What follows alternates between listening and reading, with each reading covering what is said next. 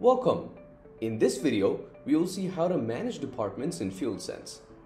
Please note that only an administrator account can manage departments in FieldSense. To add a department, log into the FieldSense web app and click on Settings tab from the left sidebar and choose Departments. Then click on Add Another button and then enter the information for the new department like the name, locations, employees to be assigned to that department, and the operation status. Once you're finished, click on the Save button.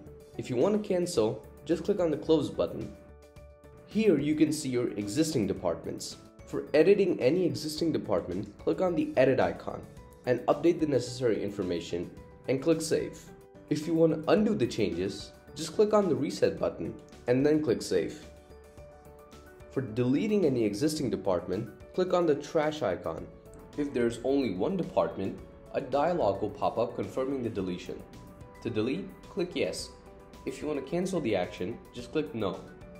After the deletion, all the employees from that department will be moved to the to be assigned department. If there are other departments, a dialog will pop up asking you to reassign the employees from the current department to a new one.